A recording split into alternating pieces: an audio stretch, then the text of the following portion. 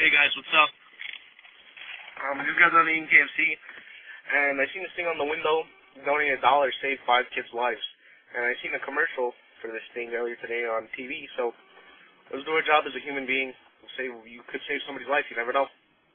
So, donate a dollar, you could feed five children. Alright, so next time you go to KFC, need a buck. It's just a dollar, man. So, that's it.